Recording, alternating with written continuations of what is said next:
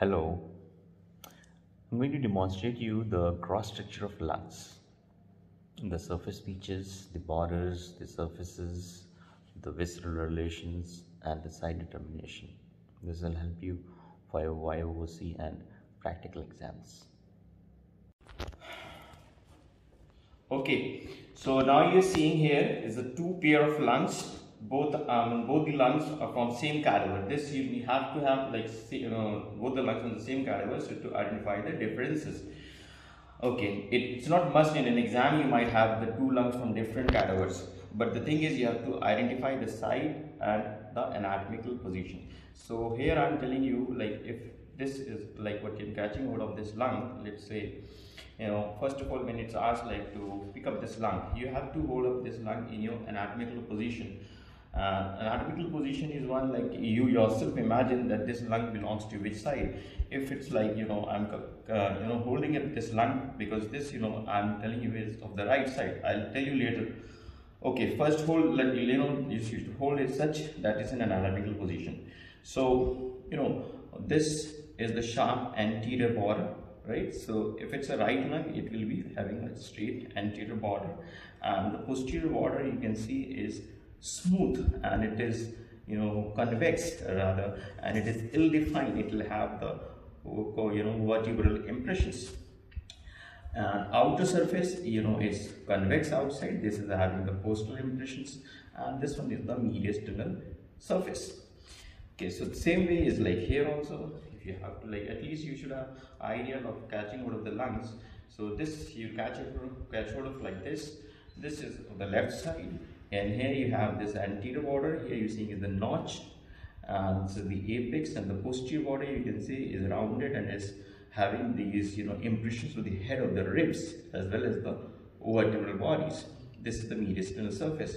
So obviously like you should have to have this idea of uh, right and left lung uh, before catching up uh, hold, uh, catching up in your which side you should hold it. So for that uh, you know the side determination has to be confirmed. Remember the three important points that you should remember for side determination if a lung uh, the first thing you should look the anterior border right? So the anterior border is very very important because you know in the left side in the left side can you see here?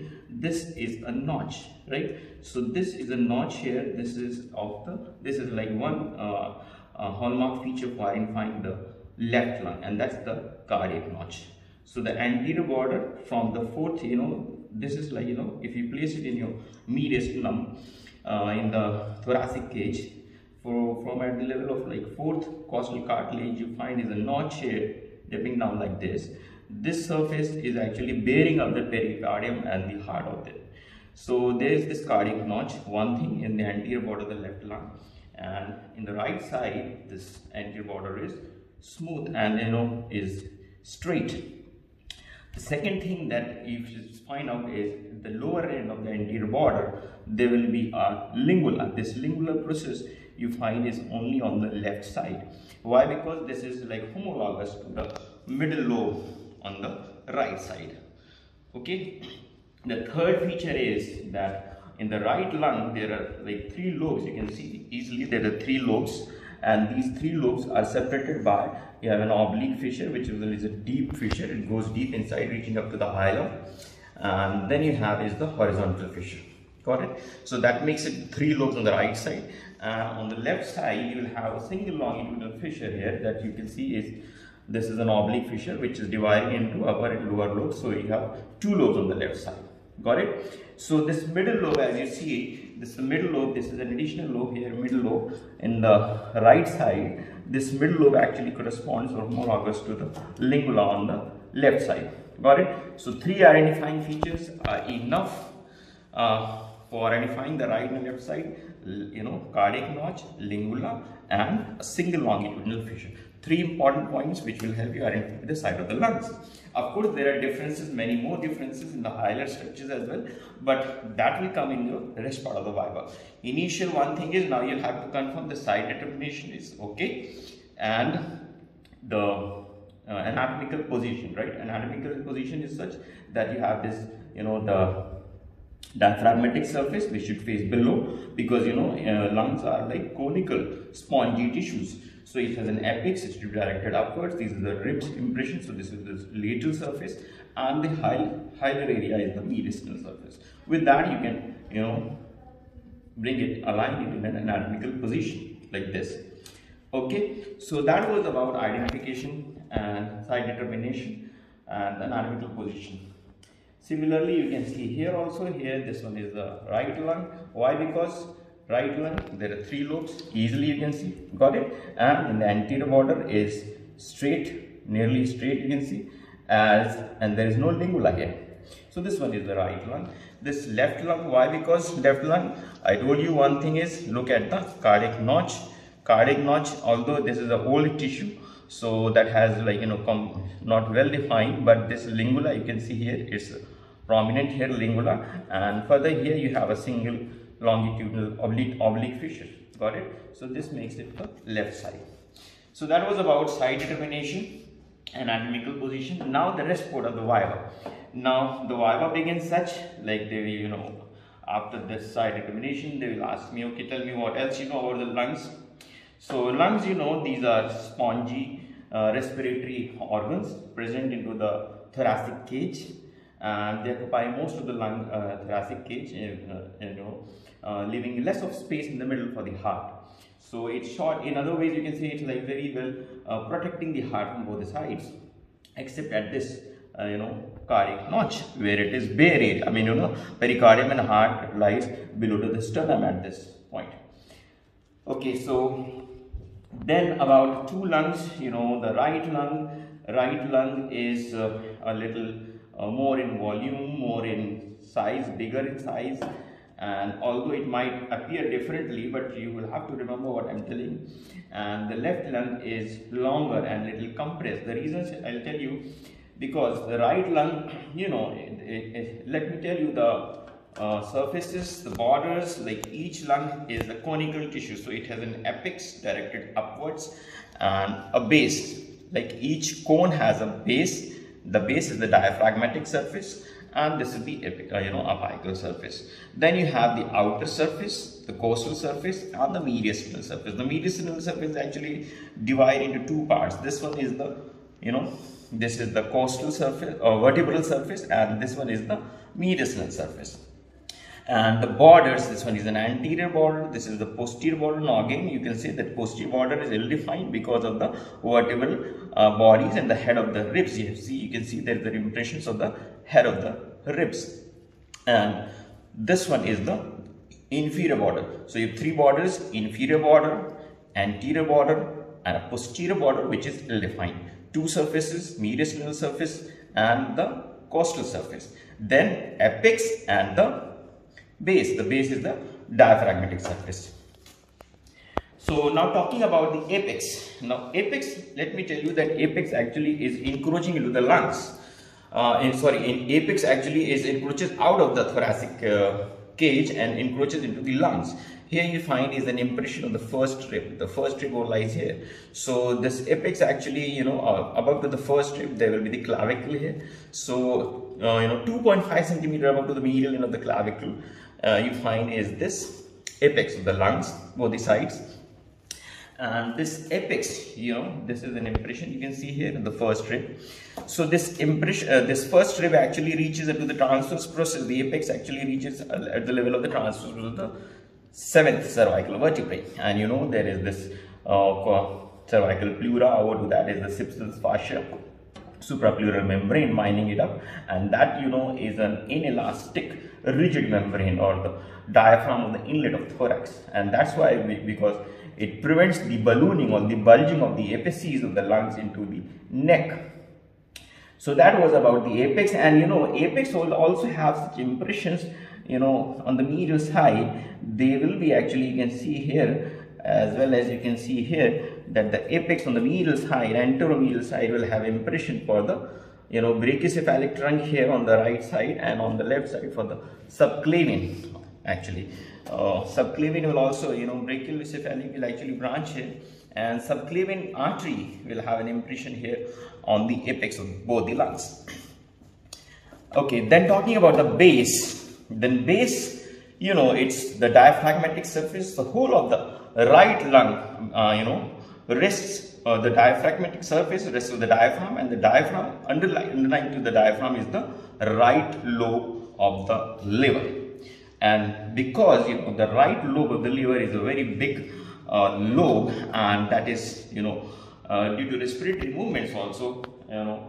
So because of that uh, liver lying below to this this you can remember that way that because it being pushed from inferior surface that's why the right lung is uh, lesser in height right? So it's lesser in height that's why it is more wider more wider more bulkier because of the push from below and that push from below is because of the liver. So this remember is and if you push something from below it becomes more widened because of the limited space in the thoracic cage.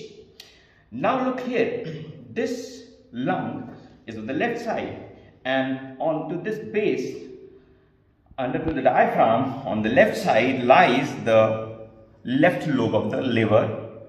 Then is the fundus of the stomach and the spleen. The three viscera lie below under to the uh, left lobe of the diaphragm. So but those are like you know not pushing that much. So what happens is remember that because it has a punch here it's like you know pushing here what what pushes the left lung more towards the left side is the heart.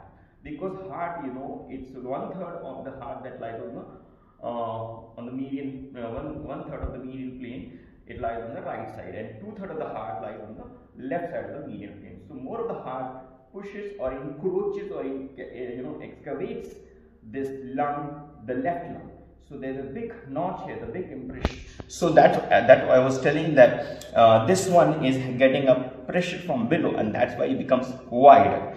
And this is getting a pressure from this side, the mediastinal surface, because the left, uh, you know, heart, the left ventricle. So that's why if you imagine that because of the heart, it gets punched or pushed, and that makes the left lung narrower and narrower because when it becomes narrower it becomes taller. So this is taller in length right? More in height and uh, you know comparatively it is thinner. But this will will be you know less in height and it will be more bulky. So the volume I was telling this one is you know in generally in males this right lung is more bulky. It's around 700 grams in males 700 on the right side. And because more of the tissue of the left lung is being, you know, excavated by the heart. So you can remember that around 50 to 100 um, grams of the left uh, lung tissue is lesser in weight. So this is 700, this is 600 to 650 grams. So because of the heart which is taking up more of the space. So remember this one is more bulkier, heavier and wider. This is taller, thinner and is a little lighter in weight.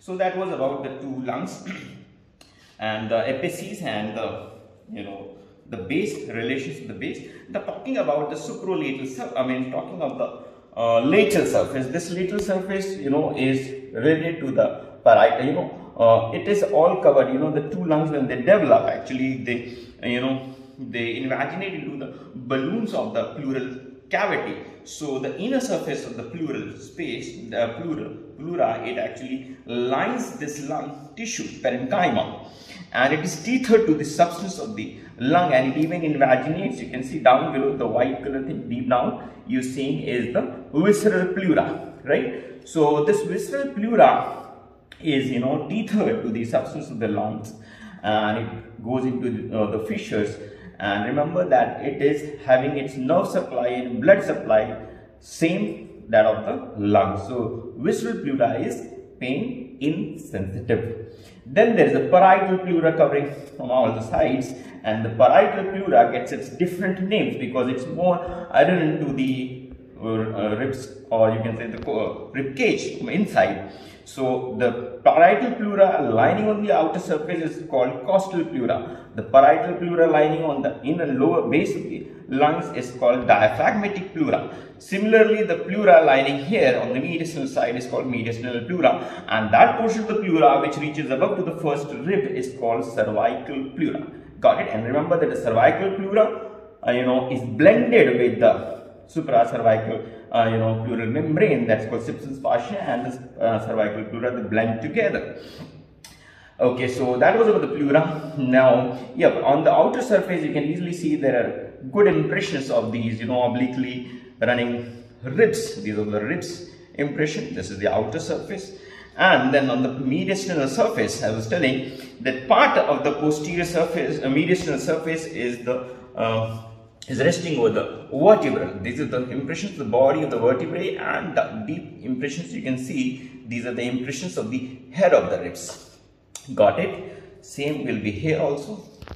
You can see here, this is the impressions. These are the impressions of the head of the ribs. These are the impressions of the body of the vertebrae. And then what remains is the mediastinal surface.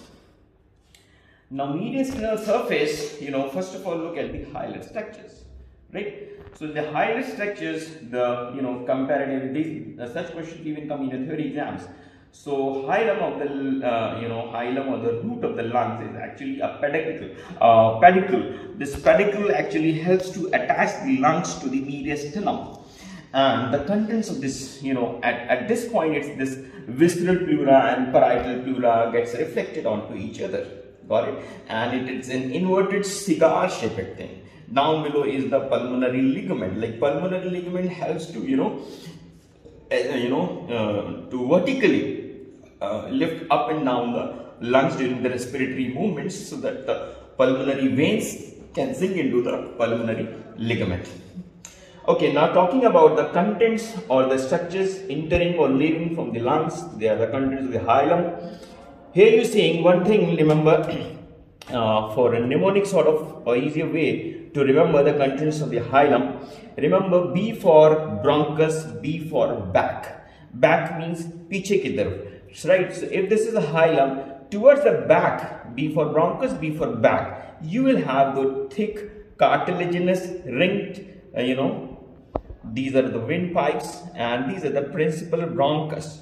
So you can feel it uh, with a, either, you know, with the forceps or with your fingers also you can palpate that these are uh, thickened margins. So these will be the, even having cartilaginous uh, rings here. So this is the primary bronchus. But in case of right lung, you have like it's divided into eparterial and hyparterial bronchus. Got it? One thing is bronchus. Then A for artery, A for above. The next mnemonic is A for artery, A for above. So what will be lying, you can see here in this, what lies above will be artery. Pulmonary artery will be lying above. Got it? and V for vein. V for vein, vein is like you know downwards or anti, you know A for artery, A for anterior. Don't get confused. A for artery, A for anterior भी हो सकता है, A for above भी होता है. So both of them is equally correct. You might find artery sometimes anterior to the bronchus or above to the bronchus. Then veins will be lying downward. Remember there are two veins you have a superior pulmonary vein and an inferior pulmonary vein. So veins will be, you know, either anterior or below. Artery either anterior or above. And posterior you have the bronchus. Okay, then what else? What else? Like in a hilum, the posterior relations will be like, you know, the nerve, the nerve supply to this, the lungs is by, you know, broncho uh, pulmonary nerve plexus and this plexus in two parts. You have an anterior plexus, anterior placed also, as well as posterior placed plexus. The pulmonary plexus is one thing. Then you have a lymphatics from the lungs and the lymph nodes, bronchopulmonary lymph nodes, they will be aligned along posterior, anterior as well as in the pulmonary ligament. So, and remember the blood supply here. So, right lung is having one bronchial artery and that bronchial artery is also passing, you know, behind at this level of this bronchus posteriorly and that bronchial artery from the right lung is from uh, the third posterior intercostal artery. And there will be you know bronchial veins. There will be two bronchial veins also. Okay bronchial vein and bronchial artery. Bronchial vein will be one bronchial artery will be one on the right side. So that was about the hilate structures on the right lung and on the left lung the hilate structures will be like again the name same mnemonic is that you have the posterior. And one thing you can check out right this is another way of checking out the bronchus that you squeeze the lung the right. So the first thing from where you'll find the you know air coming out will be confirmatory for this bronchus. So bronchus is right. You can see here. This is the bronchus. The air starts coming out from this thing, right? So this will be the bronchus. This is another way of confirming the bronchus. But you have two bronchus, epiarterial and hyparterial on the right side. And on the left side, this will be the bronchus, right? So this is the bronchus, right? You can see coming up air bubbles. So this is the bronchus of the, this is a thick wall, you can see, this is a thick wall structure. This is the principal bronchus of the left side. And as I tell you, A for artery, A for above. So the artery is lying above, right? And V for vein, one of vein will be ventral, you can remember our vein actually lies below. But there are two veins, anterior and below. The two veins, pulmonary veins. Remember while you're drawing in a theory exam, if it's you're drawing, then artery here, pulmonary artery will be drawn blue in color and veins will be drawn red in color. This is an important point. Remember, otherwise in general systemic uh, CVS you draw veins in blue and red, uh, arteries in red in color. But here you're going to draw pulmonary, uh, sorry, uh, pulmonary artery will be blue in color, pulmonary veins will be red in color, uh, red in color because they carry no oxygenated blood. Okay. Then rest of the contents will be the same. You have bronchopulmonary nerve plexuses anteriorly to the hilum and posteriorly to the hilum. There will be the difference here now is about the vasculature of the lungs, the bl uh, blood supply to the lung, that here it will be two pulmonary uh, bronchial arteries. The two bronchial arteries, here you have one bronchial artery on the right side. So the two bronchial arteries supplying the left lung will be direct branches from the descending thoracic aorta. Okay. And of course, the one pulmonary vein, bronchial vein will be here. Then anterior and posterior bronchopulmonary lymph nodes, and there will be lymph nodes reaching into the high, oh, you know, ligament, pulmonary ligament. So those are the differences. Hilum you can remember the difference. One thing is two here. What are the two structures?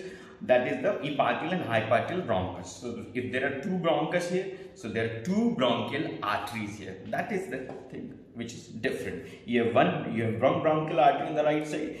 You have one bronchus on the left side. You have two bronchial arteries on the left side. You have one bronchial artery on the right side. Okay, so that was the hilum. Now what remains is the visceral relations on the medial uh, surface. Let me tell you here, you're seeing is the impression of the heart. Of course, you know the right side of the heart is made completely because of, uh, of the right atrium. So it will be the impression of the right atrium and the right auricle. That will be related to the right mediastinal surface, the right lung. Okay, then what arches above to the uh, hilum of the right lung? It's very easy, you know, it is azygous vein. is Azygous vein arches over the hilum of the right lung. Okay, then what else? As I told you, there will be impression of subclavian artery here like this. Okay.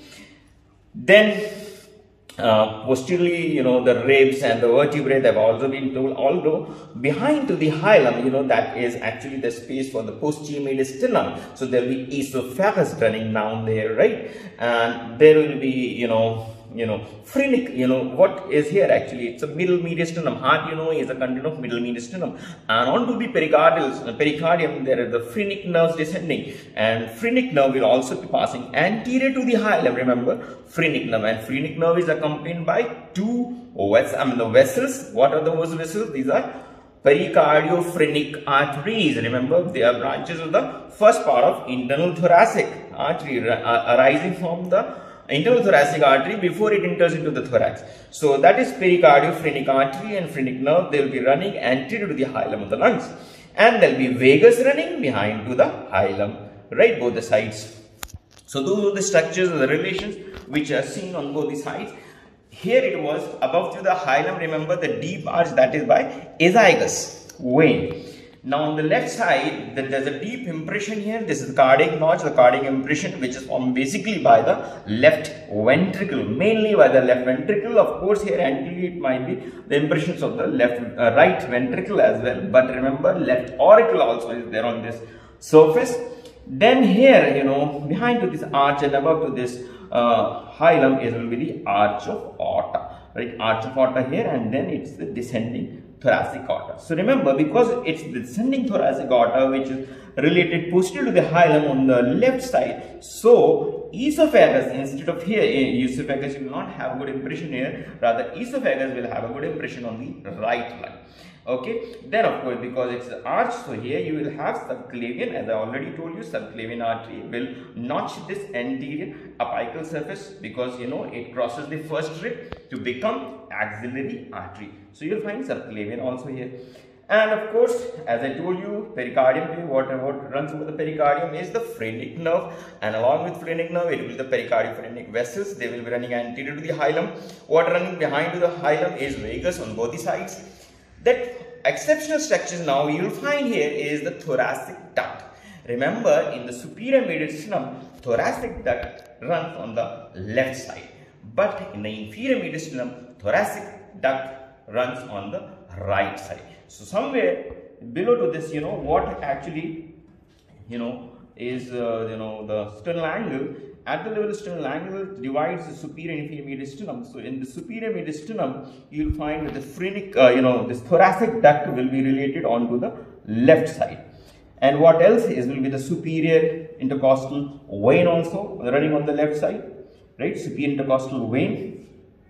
And remember one more thing is this left recurrent laryngeal nerve remember? This is the arch right? This is the impression of the arch.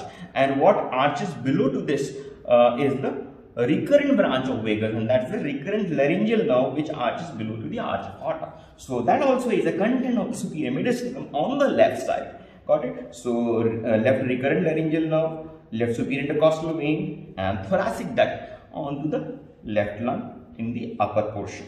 These are the relations of the left.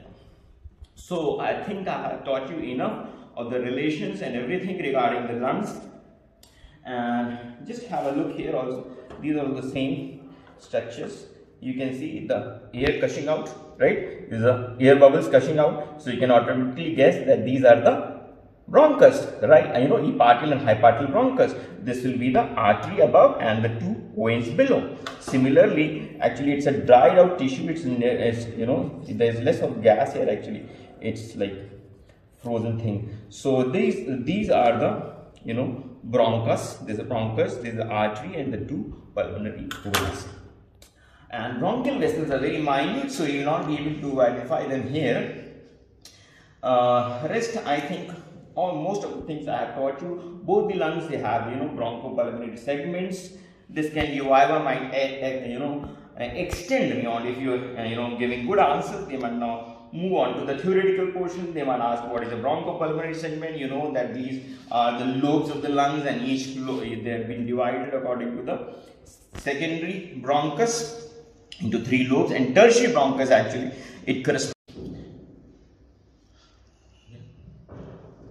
So each bronchopulmonary segment is aerated by a tertiary or a segmental bronchus and each segmented each segment has its own bronchus, has its own bronchial arteries, has bronchial vein and pulmonary arteries. Remember what is intersegmental in bronchopulmonary segments? That is the pulmonary veins. And these are the planes for surgical resection of the lobes or the segments of the lungs. Got it? So it's done.